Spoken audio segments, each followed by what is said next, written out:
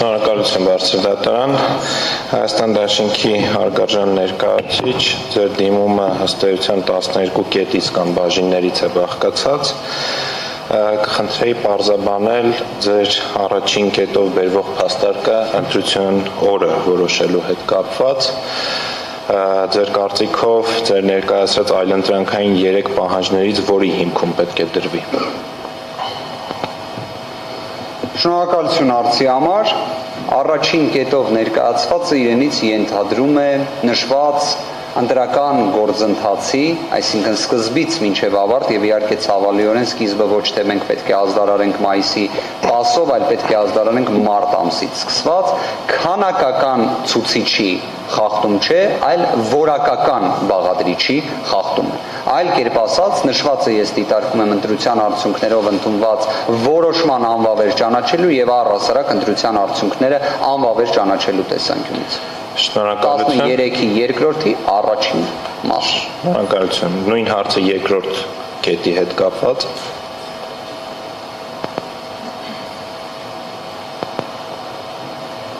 Մանրամասնեք երկրորդ կետի որ հատվածն է ձեզ հետարքրում, որը կապված է վարչապետի կողմից պաշտոնավարումը շարունակելու հետ։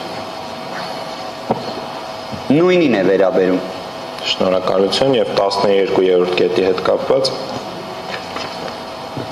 13 12-րդ կետի հետ կապված հարցադրումը, այսինքն նույն 3-5-րդի վերաբերյալ։ Այո։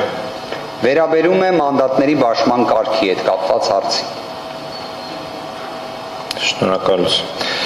Հաջորդ հարցը ձեր դիրքորոշման մեջ կար պնդում, որ խորհրդարանական փոքրամասնությունը պետք է ստանա ԱԺ ընդհանուր մանդատների 2/5-ից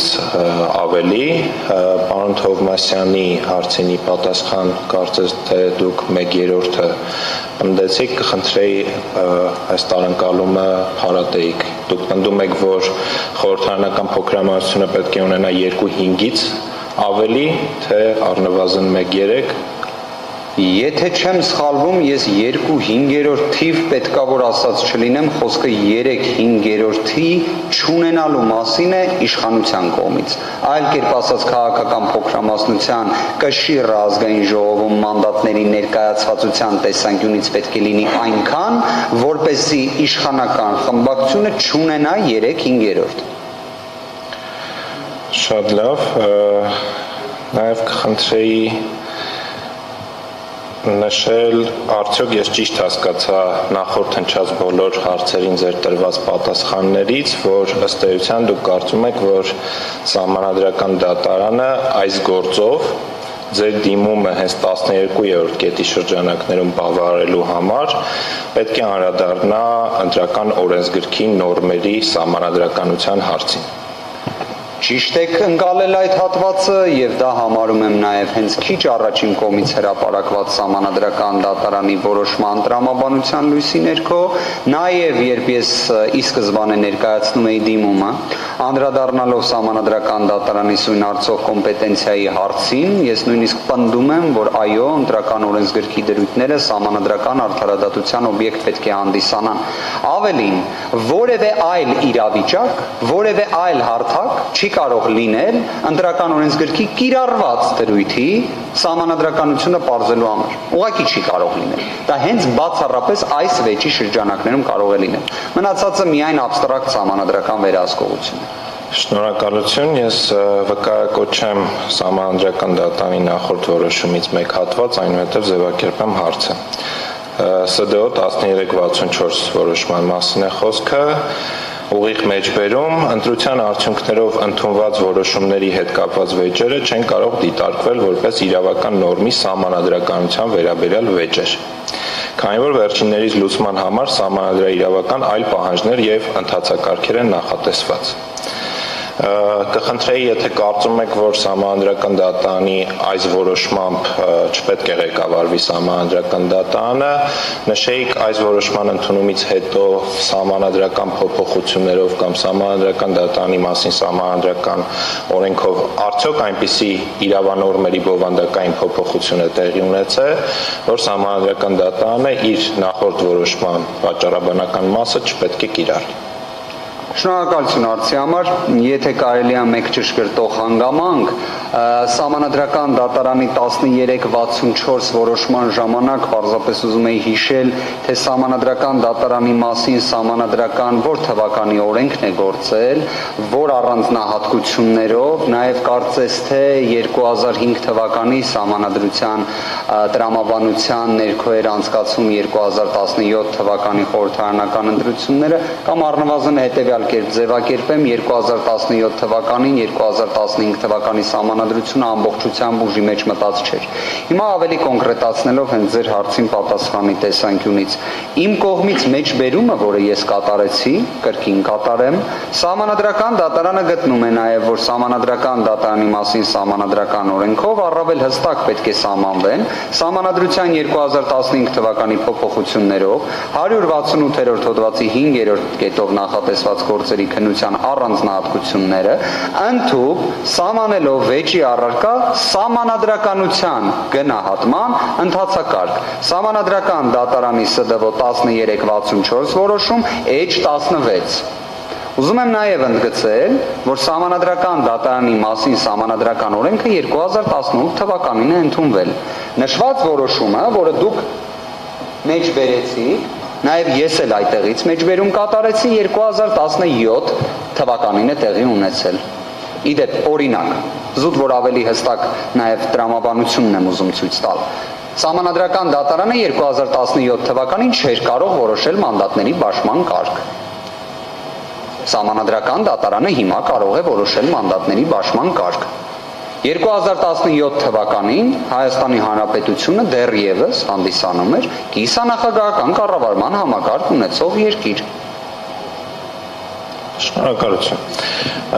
Սահմանության 6-րդ հոդվածի կանոնակարգումը հաշվի առնելով ձեր կարծիքով սահմանադրական դատարանը կաշկանդված է այդ հոդվածով թե ոչ։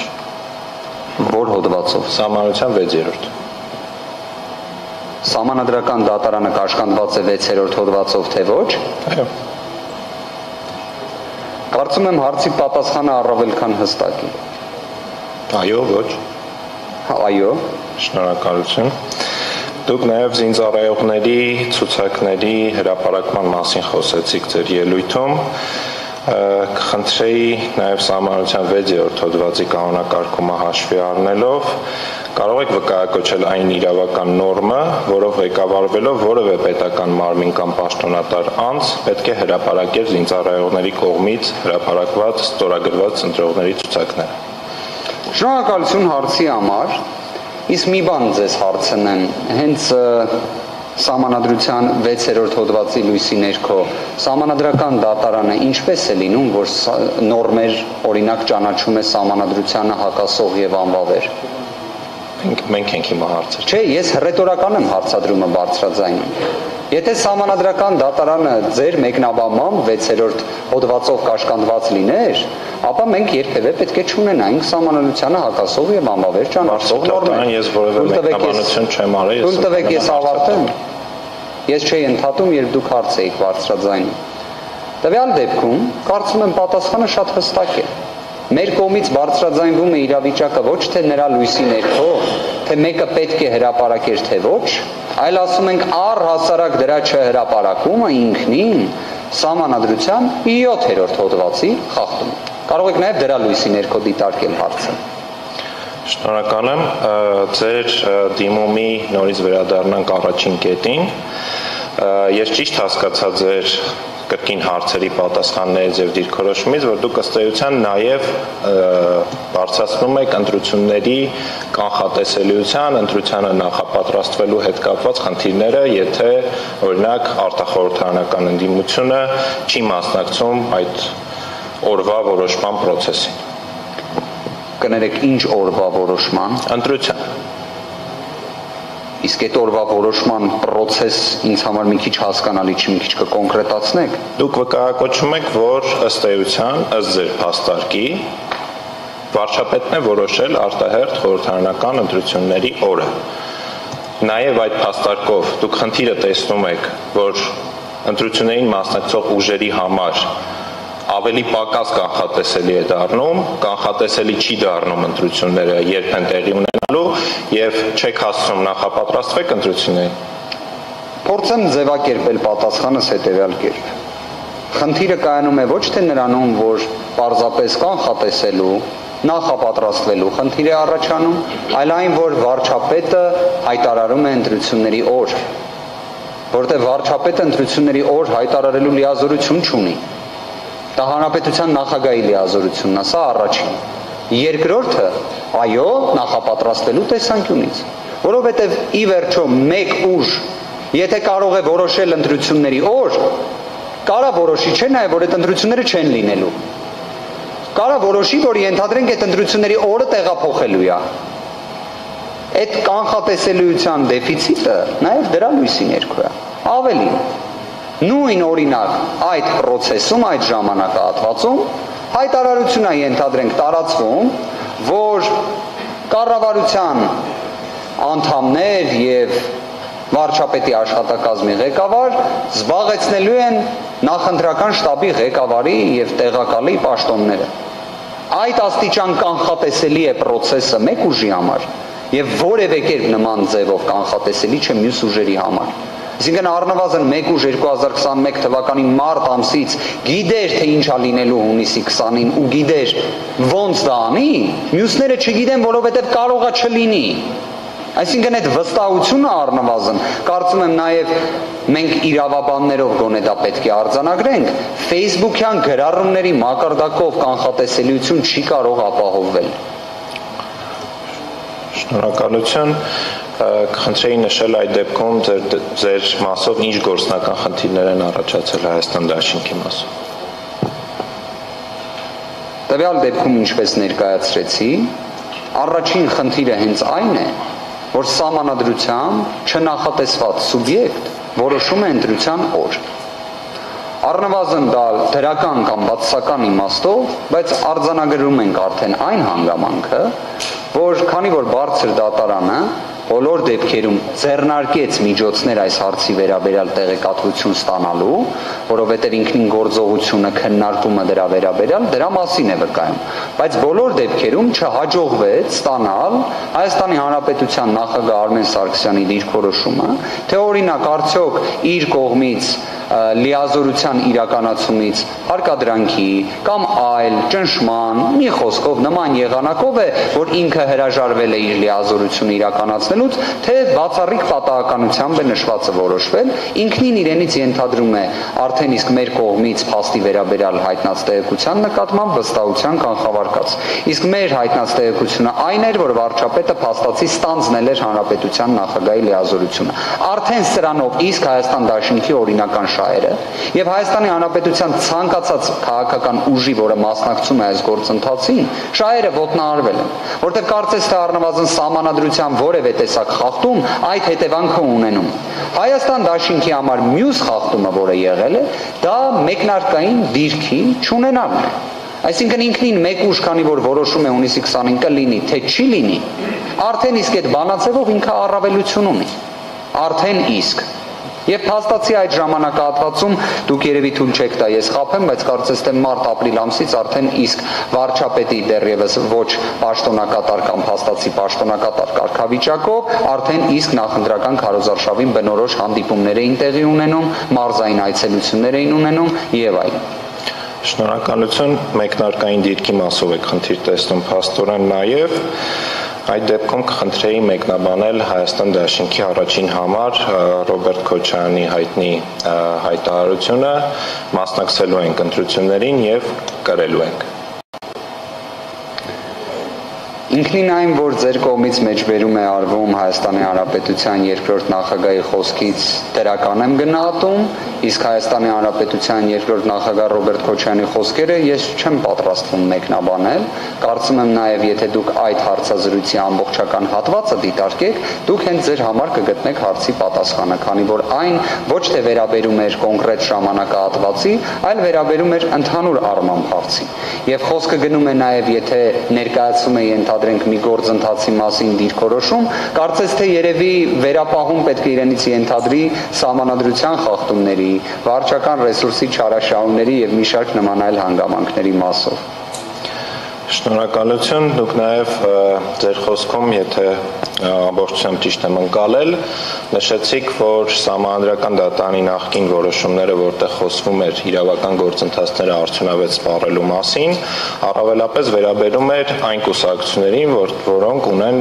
հանձնաժողովի անդամներ եւ խոսքը չէր գնում վստահված անձանց մասին։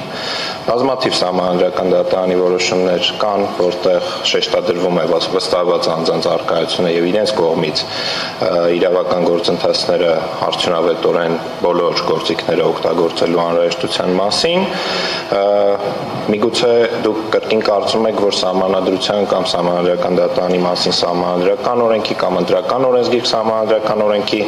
որևէ նորմ է բովանդակային առումով փոփոխությունների ենթարկվել, որ համանդրական դատարանի նախորդ որոշումները կրկին կիրառելի չեն այս դեպքում։ Ես կխնդրեմ հնարավորության դեպքում, եթե ինձ հենց ներկայացնեք համանդրական դատարանի որոշում, որը հենց բացառապես առանձին վերաբերի վստահված անձանց, ես այդ ժամանակ եկեք այդ հարցին պատասխանեմ, որովհետև առնվազն իմ հիշելով այն վերաբերում էր հենց այն իրավիճակներին, երբ միաժամանակ կար ընտրական տեղամասում հանձնաժողովի նախագահի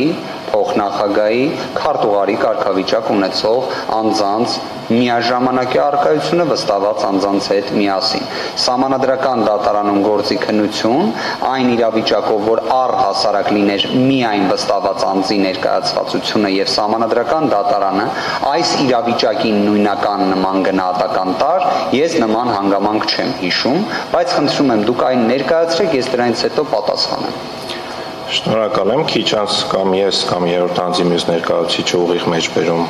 կանենք համանդրական դատանի համապատասխան որոշումներից։ Մինչ այդ կխնդրեի նաև նշել պարոն Չարչյանի ձերբակալման հետ կապված ասացիք, որ ոչ իրավաչափ է ճանաչվել, նաև գիտեմ, որ դուք ներկայացուցիչն եք եղել պարոն Չարչյանի, հաստաբանն եք եղել պաշտպան, եւ այդ առումով կխնդրեի նշել արդյոք կալանքի միջնորդությունն է քննվել եւ արդյոք հաստատված է համարվել դատարանի կողմից հիմնավոր կասկածի արկայություն հիմնավոր կասկածի արկայությունը դատարանի կողմից առաջին այցանի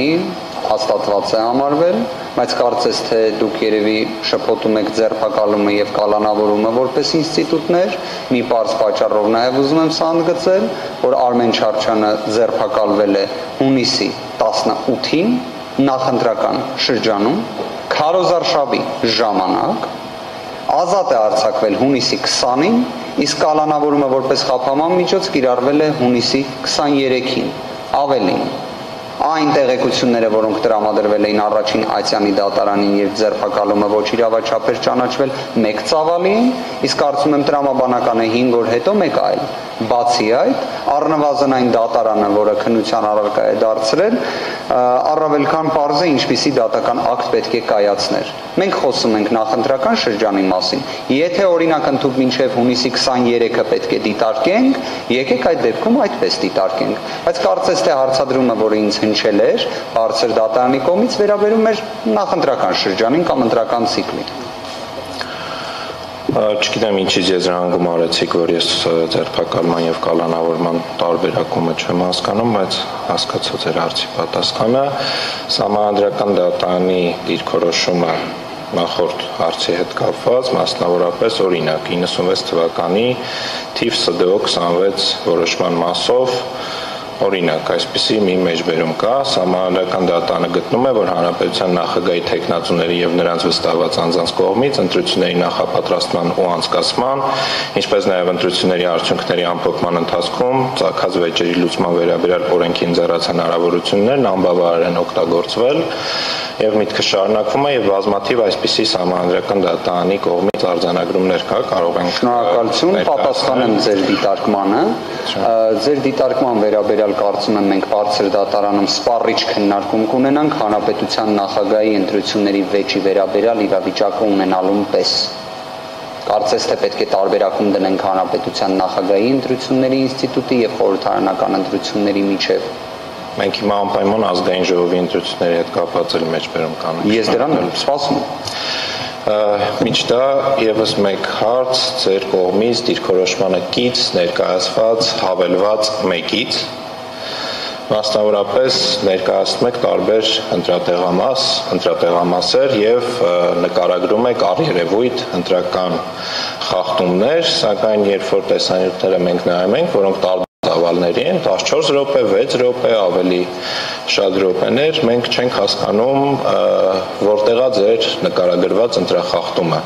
Միգուցե ձեր մոտ աշխատանքային որևէ ֆայլ կա, որտեղ նաև դուք կարող եք վկայակոչել րոպեն վարկյանը, որտեղ երբ է տեղի ունենում այդ իրադարձությունը, դեռ ուղակի օրինակի համար, հա, 9-րդ կետով գրել եք, որ Գորիս համայնքի Վերիշեն բնակավայրում 34.10 ընտրատեղամասում եւս ուղղորդում են զինվորներին։ Սպան ցուցում է տալիս ընտրել Նիկոլ Փաշինյանին։ Մենք հիմա նայում ենք այս տեսանյութը եւ չենք տեսնում ձեր նկարագրված իրադարձությունը։ Եվ այսպես բոլոր կետերի մասով։ Եթե ունեք նման ֆայլ,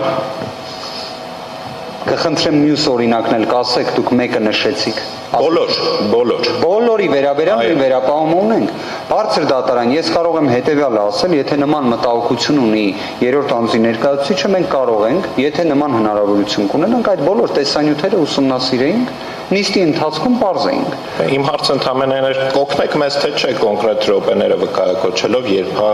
այդ աշխատանքային կարգով կփորձենք նաև դրա վերաբերյալ ձեզ տեղեկատվություն տրամադրել, բայց եթե ընդհանուր էր այդ խնդիրը, որտեղ կարծես ասացիք բոլոր դեպքերում րոպեի խնդիրը, թե բովանդակության նկարագրումը։ Բովանդակությունը չենք գտնում